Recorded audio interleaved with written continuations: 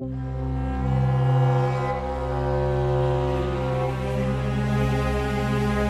USS America, LHA-6, is an amphibious assault ship and the lead ship of the America class of ships in the United States Navy.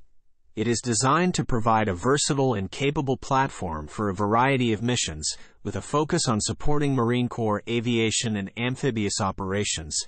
Displacement 44,971 tons, full load length, 844 feet beam width, 106 feet draft.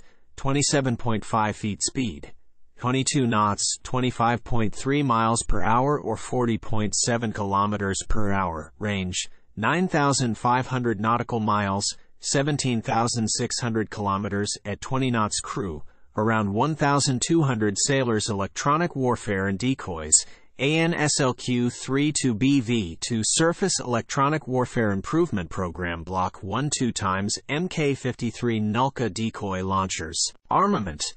To rolling airframe missile launchers. To evolved Sea Sparrow missile launchers. To 20mm phalanx CIWS mounts. To 25mm M242 Bushmaster machine gun system 7 twin.50 BMG machine guns aircraft carried AV-8B Harrier, 2MV, 22B Osprey, F-35B Lightning II, CH-53K King Stallion A-1Y Venom, AH-1Z Viper MH-60S Knighthawk.